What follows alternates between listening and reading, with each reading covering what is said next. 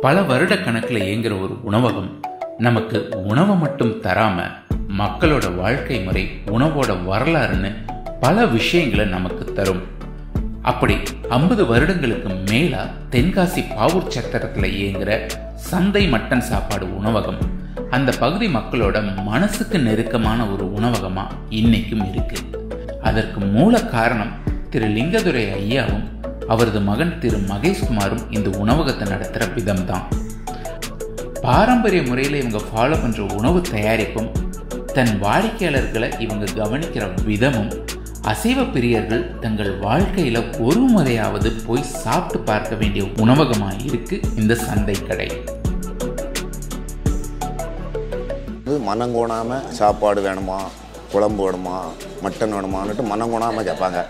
ஒரு வயிற்று பசியோடு வந்தால் திருப்தியாக எவ்வளவு சாப்பிட முடியுமோ அந்த அளவு சாப்பிடலாம். ஆ, அதான் மட்டன் கடை.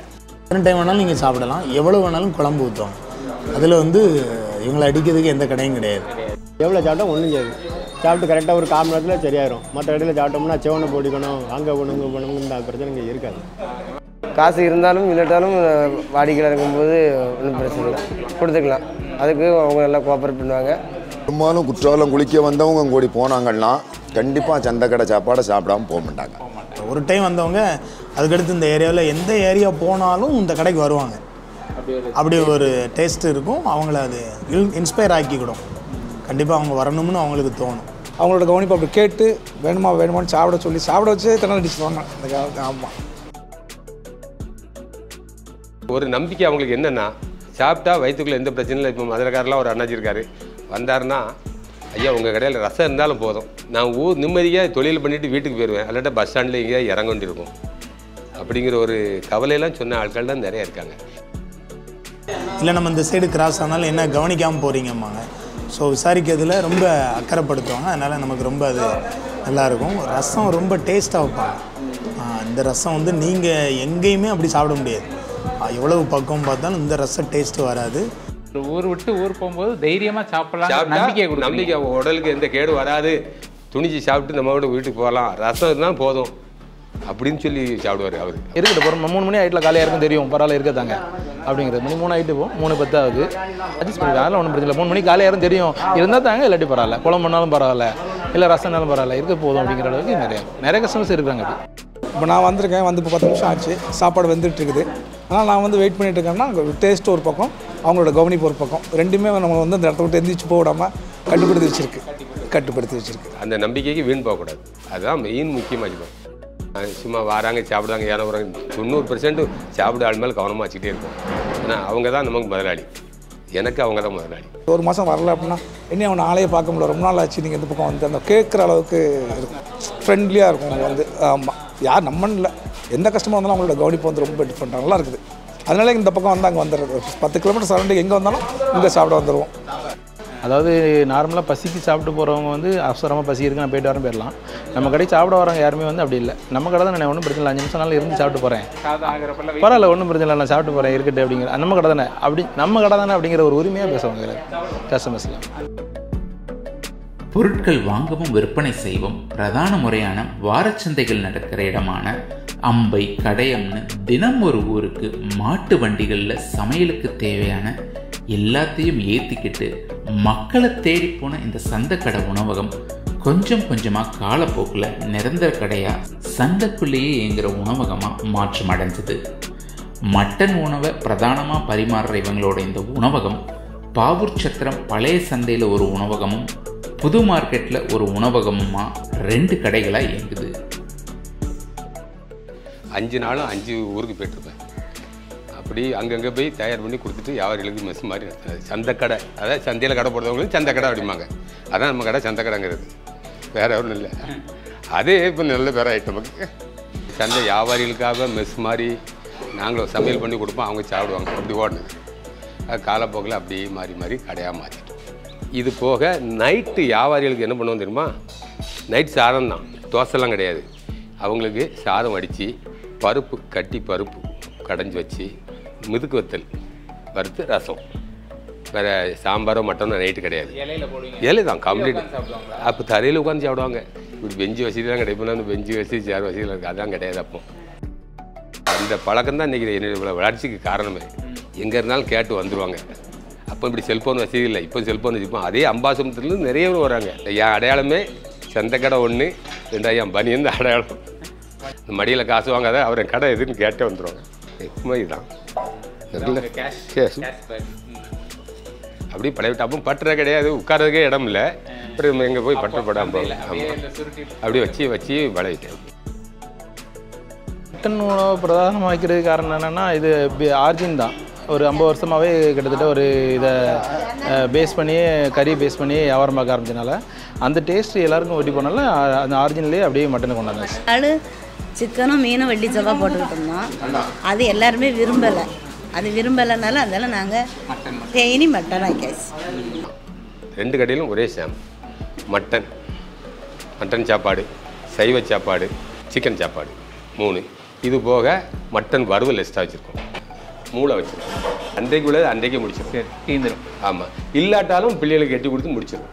அப்படி ஒரு. அது ஒரு காரணம். பிள்ளைகளுக்குன்னா யார் சொல்கிறீங்க கம் கம்ம கடை கம்பெனி உறுப்பினர்களுக்கு இது வந்து சூரப்பரம்பு கேரளாவில் சொல்கிறது இதில் வந்து சாதம் வடித்தா சாதம் நல்லா வாசமாக இருக்கும் சுத்தமாக இருக்கும் வாசமாக இருக்கும் அதுக்காக தான் இதை யூஸ் பண்ணுறேன்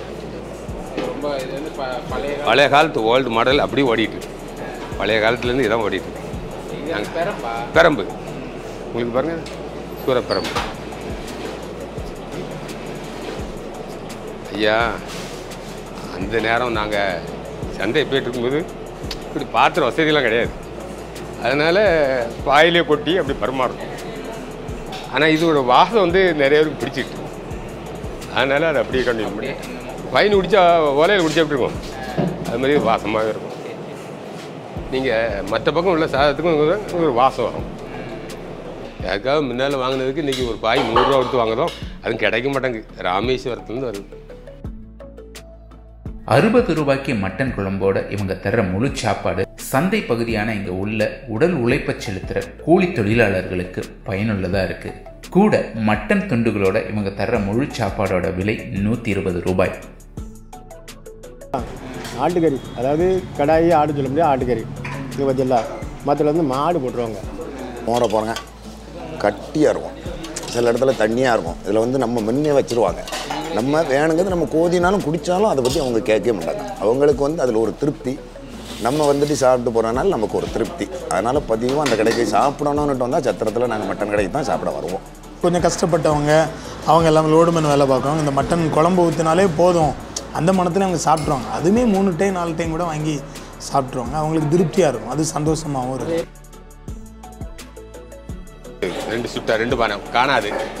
ரெண்டு பானை ஃபுல்லாக வச்சா தான் எங்களுக்கு காணும். இல்லை இனிமேல் நம்ம குழம்புல மட்டன் ஏற்றும் போது அளவு கூடிரும்ல. குழம்புல கலர் வரும். இது அப்படி கிடையாது. இது வீட்டு மசாலா சரியா? அப்படி சாப்பிட்டோம்னா நல்லா இருக்கும். மனதுக்கு பிடிச்ச மாதிரி. இன்னைக்கு வந்த உடனே இலை கிடத்துட்டு சாப்பிடுதோம். இல்லை ஒரு அரை மணி நேரம் கால் மணி நேரம் ஆனாலும் இருந்து சாப்பிட்டுக்குவோம். தொழிலாளிகள் ஃபுல்லாக இங்கே தான் வருவாங்க எப்பொழுதுமே. நல்ல வயிற்றுக்கு சாப்பிட்றதுக்கு. இல்லைன்னா நம்ம வாரத்துக்கு ஒரு திருப்பி தான் மட்டன் சாப்பிட முடியும். இங்கே எப்பொழுதும் வந்தாலுமே மட்டன் சாப்பிட்டுக்கலாம். அந்த ஒரு காண்டி அது இல்லாமல் தகைக்காது. எப்போ எவ்வளோ சாப்பிட்டாலும் நல்லாயிருக்கும். அந்த ஒரு கண்டுக்காண்டி நாங்கள் டெய்லி வரும். உபசரிப்பு முறை தாங்க கனிவு. அதாவது யார்ட்டும் கோவப்பட மாட்டாங்க. அண்ணன் எனக்கு குழம்பு ஊற்றுங்கன்னா குழம்பு ஊற்றுவாங்க பின்னாலையும் கூட ஒரு ஆட்டையும் எனக்கு குழம்பு வேணும்னா சந்தோஷமாக கொண்டு வந்துடுவாங்க ரெண்டாம் நம்ம வேண்டாம் நினைஞ்சிடும் குழம்பு வேணுமானே கூட்டு வேணுமானே அந்த ஒரு பரிவு பாசனைகள் நல்லாயிருக்கும். யார்ட்டையும் கோபங்கிறது பட மாட்டாங்க. பத்து ரூபா கம்மியாக இருக்குது நாளை தரேனாலும் சந்தோஷமாக போயிட்டோம் அம்மா அவங்களால ஒரு ஒரு கறி வாங்கி சாப்பிட முடியாதுங்கிற புரிதல் உங்களுக்கு இருக்கு. இல்ல? நீங்க கண்டிப்பாக அந்த நிலையில இருந்து வந்திருக்கீங்க. கரெக்டாக அவர் இப்போ சாப்பிட்டுட்டு இருக்காரு இதுக்கு அடுத்தால என்ன எதிர்பார்ப்பாருங்கிறதே கூட தொண்ணூறு பர்சன்ட் மைண்டில் ஒர்க் ஆகும்.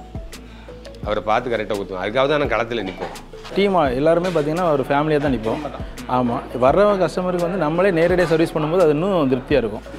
வேலையாட்களை நம்ம கல்லால் உட்காந்துட்டு வேலையாட்களை வச்சு வேலை பார்த்து நீ கொடுறியான்னு சொல்லிட்டு பார்த்துட்டு அவன் என்னத்தை கொடுக்கான்னு நமக்கு தெரியாது. ஆனால் இதுதான் எங்களோட ஸ்பெஷாலிட்டி சர்வீஸ் தான். அது அறுபது ரூபாய்க்கு சாப்பிட்டாலும் சரி தான் ஐயாயிரம் ரூபாய்க்கு சாப்பிட்டாலும் சரி தான் வாரவங்க எனக்கு வந்து கடவுள் மாதிரி. சில நேரம் கூட்டத்தில் சில ஆள் கூட ரொம்ப வருத்தப்படுறோம் இன்னும் வரலையே லேட் ஆகிட்டேம்பாங்க அப்பவும் அவங்களுக்கு பொறுமையாக தான் பதில் சொல்லி அவங்க மனதை சார்ந்தபடி தான் கொடுப்பேன் ஏன்னா கஸ்டமர் வந்து திருப்தி அடையணும். இந்த கடைக்கு போனால் நல்லா கவனிப்பாங்க அப்படிங்கிற ஒரு இருந்தாலே இருந்தாலே நம்ம கடை தேடி வர ஆரம்பிச்சிடுவாங்க ஸோ உங்கள் கடையை லீவ் விட மாட்டீங்க நிற்கும் பெரும்பாலும் கிடையாது. பொங்கலுக்கு ஒரு நாள் லீவு தீபாவளிக்கு ஒரு நாள் லீவுன்னு வச்சிரும் மறுநாளே என் கடைக்கு அன்னைக்கே கேட்பாங்க. சார் இன்னைக்கா நாங்கள் வீட்டில் இருக்கோம்னு சொல்லி. அப்படி தான் நிறைய பேர் சொல்லுவோம் இப்போ உங்கள் பொண்ணு கல்யாணத்துக்கு பையன் கல்யாணத்துக்கே ஒரு நாள் தான் லீவ் விட்டதா சொன்னாங்க அது உண்மை உண்மையாக மற்ற வேலை எல்லாம் நடக்கும் ஆட்டோமேட்டிக் நடக்கும். அன்னைக்கு ஒரு நாள் மட்டும். ஈவினிங் என்கேஜ்மெண்ட் ஃப்ரைடே எனக்கு மேரேஜ் வியாழக்கிழமை வரைக்கும் கடை நடந்தது. ஆறு மணிக்கு என்கேஜ்மெண்ட்க்கு அப்பா அஞ்சரை கிளம்பி வந்தாங்க. ஒரு நாளும் அந்த பன்னெண்டு மூணுக்கு வந்து எனக்கு முடியலன்னு அவங்க வீட்டில் வந்து இது வரைக்கும் படுத்தது கிடையாது. எவ்வளோ அவளை எவ்வளோ சிக்கா இருந்தாலும் சரி. அப்பாட்ட கற்றுக்கிறது ஹார்ட் ஒர்க் தான். அவங்களோட உழைப்புங்கிறது வந்து ரெஸ்ட்லெஸ் அப்படின்னு சொல்லலாம். ஆனால் ஒரு சாட்டிஸ்ஃபைடாக வேலை பார்ப்பாங்க. ஆமாம் அதுலேயே நம்மளை நானும் அதே மாதிரி மாற்றிக்கிட்டே இருக்க ஆசைப்படுதேன். போன ஆண்டு நாற்பத்தி ரெண்டு நாள் கொரோனாவால் லீவ் லீவு அதுதான் உங்களுக்கு கிடைச்ச பெரிய ஓய்வு அப்போ உங்களுக்கு எவ்வளோ வருத்தமாக இருந்ததுங்க? அதாவது தாங்க முடியாத வருத்தம். எனக்கு எழுபத்தி ரெண்டில் வேலை பார்க்க ஆரம்பித்த காலத்துல இருந்து இதுவரை நான் அப்படி ஒரு லீவ் எடுத்ததே கிடையாது. கொரோனா லீவு அது மறக்க முடியாத leave. தெய்வம் செய்யும் தொழில் தெய்வம்னு சாதாரண சொல்லிடுவாங்க ஆனால் அதை வந்து நேரடியாக பார்க்கணும் எங்கள் அப்பா நான் பார்த்துட்டு இருக்கேன். இப்போ இந்த பாவச்சத்திரத்தில் குறைஞ்சது எழுபது ரூபா எண்பது ரூபா சாப்பாடு. அறுபது ரூபா சாப்பாடு எங்கேயும் கிடையாது. சந்தை சாப்பாட்டில் மாத்திரம் அறுபது ரூபா. அதுவும் அன்லிமிட்டட் எவ்வளோ நாளும் சாப்பிட்டுக்கலாம். எத்தனை நான்வெஜ்ஜாக இருக்கட்டும் சைவமாக இருக்கட்டும் எது கேட்டாலும் உடனே வைப்பாங்க. மட்டன் சாப்பாடு நூற்றி இருபது ரூபானா மட்டன் ஒரு இவ்வளோ பீஸ் போட்டு ரெண்டு எலும்பும் போட்டு குழம்பு ஊற்றிடுவோம் வர கஸ்டமர் திருப்தியாக இருக்கணும் நம்மளும் திருப்தியாக இருக்கணும். நமக்கும் மோசமாயிடக்கூடாது அவங்களுக்கும் அதுதான். வியாபாரம் செய்- லாபம் வந்து கம்மியாக தான் இருக்கும் நம்ம கடையில் பார்த்தீங்கன்னா நூற்றி இருபது ரூபாய்க்கு மட்டன் சாப்பாடு கொடுக்குறது நிறைய பேர் எங்கிட்டே கேட்குறாங்க நூற்றி இருபது ரூபாய்க்கு உங்களுக்கு எப்படி கொடுக்க முடியுது அதனால் அந்த இதில் சாட்டிஸ்ஃபைடாக இருக்கும் நமக்கு அம்மாசி வந்தாலும் சரி தான் பௌர்ணமி வந்தாலும் சரி தான் வந்து கோயிலில் அன்னதானம் இந்த நீங்கள் வார வழியில் கூட ஒரு அம்மன் கோயில் பார்த்துருப்பீங்க. அதில் அன்னதானம் வந்து நாலு மூடை அரிசி ஓடும். எங்கள் முருகன் கோயிலில் பத்து மூடை ஓடும் சித்திரை விசுவுக்கு. எது ஓடினாலும் நம்ம வியாபாரம் ஆட்டோமேட்டிக்காக நடக்கும். மக்கள் ஆதரவு அதிகம். அது பெரிய அதிசயம். இறைவன் தந்த கொடை. குறைஞ்ச ஆதாயம் அதிக வியாபாரம். எல்லாரும் சொல்லுவாங்க இவ்வளோ ஆரோக்கியம் நீ எங்கேயே பெறலாமாங்க ஒன்று போனால் ஆண்டவன் நல்லா தந்திருக்கான். என் தகுதிக்கே இறைவன் நல்லா அருள் தந்திருக்கான். அதை வச்சுட்டு. நிறைய பேர் இருக்குது இப்போ நிறைய பேர் நான் சொல்கிறத விட நிறைய கஸ்டமர்ஸ் நம்மகிட்ட சொல்லும்போது இப்போ எங்கள் அண்ணனுக்கு ஒரு சின்ன ஆக்சிடென்ட் ஆகிற போது சொன்னாங்க அவன் ஓரளவுக்கு உடம்பு பரவாயில்ல. ஆக்சிடெண்ட்டில் தப்பிச்சிட்டான். அவன் சொன்னது நீங்கள் போட்ட சாப்பாடு தான் உங்களை காப்பாற்றிருக்கு அப்படிமா. அது எனக்கு இன்னும் ஞாபகம் இருக்குது நீங்கள் கொடுக்குற சர்வீஸ் நீங்கள் கொடுக்குற அந்த இதுதான் உங்களை காப்பாற்றிருக்கு அதுவே நமக்கு பெரிய மன நிறைய தான். அப்படிங்கிறது பெரிய சந்தோஷம் ஐயா. சாதாரண சந்தோஷம்லாம் கிடையாது. கணக்கே இல்லை. இன்னும் நிறைய பேர் என்னை வந்து கையை கொடுத்துட்டு போகும்போது எனக்கு அது என் சந்தோஷம் உச்சிக்கு பெறும் என்னை ஒரு அடையாளப்படுத்தினதே இந்த உணவு தொழில் தான். அதான் இப்படி ஒரு அடையாளமே வந்திருக்காரு பெரும்பாலும் நிறைய பேர் என்னாச்சு பவர் சித்திரம் மட்டன் கடையா? சாப்பாடு மட்டன் சாப்பாடு கடையான்னு தான் கேட்பாங்க முத அதில் சந்தை கடையான்னு தான் கேட்பாங்க. Tenkasi to Tirunelveli road. கரெக்டாக தென்காசிலேருந்து எட்டு கிலோமீட்டரில் பவர் சித்திரம். பவர் சத்திரம் பஸ் ஸ்டாண்ட்லேருந்து நடந்தே வாக்கபிள் டிஸ்டன்ஸில் பழைய மார்க்கெட்டு புது மார்க்கெட்னா கண்டிப்பாக த்ரூ ஆட்டோ தான். Auto or bike sir Pavoor Chatram Tenkasi பத்து கிலோமீட்டர் ரயில்வே கேட்டுக்கிட்ட வந்த உடனே எனக்கு கால் பண்ணுங்கள் உங்களுக்கு தொடர்பு கொண்டுகிட்டே இருக்கேன். இங்கே வந்துக்கிட்டே இருக்கலாமாங்க. இவ்வளோ நூ ஐம்பது பேர் சாப்பிட்டுருந்தாலும் நான் பண்ணிவிட்டு ஃபோனை கையில் வச்சுக்கிட்டு அப்படியே வந்துட்டுங்க எதுக்கிட்டு வரீங்க இப்படி வாங்க ரைட்டில் வாங்க மார்க்கெட்டு வாங்கன்னு அப்படி தொடர்பு கொண்டுருவேன். அதெல்லாம் எவ்வளோ நெருக்கடியிலையும் அவங்கள தொடர்பு இல்லாமல் இருக்க மாட்டேன். அதுக்காக வாண்ணா வராங்க போகிறாங்கன்னு அப்படிங்கிற அசால்ட்டை எடுக்கவே மாட்டேன். நடந்து பஸ்ஸில் வந்தால் நீங்கள் பக்கத்து கடைக்கு போங்கன்னு சொல்லுவேன். இல்லை காரில் வந்து அப்படி வாங்கன்னு சொல்லுவேன். ஒரு வேளை ஒரு கட்டத்தில் அவங்க ஒரு ஆட்டோவிலே கிழக்குள்ள கடைக்கு வந்துட்டாங்கன்னா ரிட்டன் வர்றதுக்கு வழி இல்லாட்ட எங்கள் ஆளை வச்சு பஸ் ஸ்டாண்டுக்கு அனுப்பிடுவேன் ஏன்னா அவர் ஒரு ஆசையில் வந்திருப்பார். ரெண்டாவது போகிறதுக்குன்னு அதுக்குன்னு ஐம்பது ரூபாய் நூறுரூவா காசு கொடுத்து போனால் அது கற்றுக்கிட முடியாதுன்னு எங்களை முடிஞ்ச அளவுக்கு அவரை அதில் டெலிவரி பண்ணி விட்ருவேன் ஒரு மணிக்கு வந்தீங்கன்னா ஒன்று டு ரெண்டு எல்லாமே இருக்கும். இவன் உள்ள குழம்புக்கு அது எல்லாம் என்ன இருக்குமோ இருக்குது தான். அதுக்கப்புறம் அதுக்கப்புறம் கரெக்டாக இதுதான் இருக்குன்னு சொல்ல முடியாது. இது பஸ் ஸ்டாண்ட் பக்கத்தில் இருக்கிற கடை இது பழைய கடை. அதுலேருந்து ரெண்டு கிலோமீட்டர் திருவள்ளுவர் ரோட்லேயே வந்தாச்சுன்னா ரைட் சைடு புது மார்க்கெட் காமராஜர் தினசரி மார்க்கெட் அங்கே வந்து நான் இப்போ புது கடை. ரெண்டு கடை நமக்கு இருக்குது இதில் முன்னால் வந்து ஒன்று ரெண்டு தான் தருவாங்க வரவங்க. இப்போ அப்படி பார்த்து பார்த்து அவங்க எங்கள் கடை கேலண்டு உங்கள் கடைக்கு ஏகப்பட்ட கஸ்டமர் வராங்க. எங்கள் கடை கிடந்தால் எங்களுக்கு விளம்பரம். அப்படின்னு போடுவாங்க. அது எங்களுக்கு சந்தோஷம். ரெண்டாவது என்ன ஆச்சு போச்சுன்னா இப்போ நாங்கள் எங்களுக்கு வேலை ஒர்க்குனால இப்போ கிளிக்கலை அதே சமயத்தில் வரும்போதே அவங்க கவனம் எங்கே இருக்கும்னா கேலண்டர் மேலே தான் இருக்கும். தேதி மேலே இருக்காது. கேலண்டர் கிடக்கா நம்ம கேலண்டர் கொடுத்தவர். அப்படி இருக்காங்க. வருவாங்க. கண்டிப்பாக வருவாங்க. நட்பு பெரிய சந்~ சந்தோஷம். பெரிய நட்பு.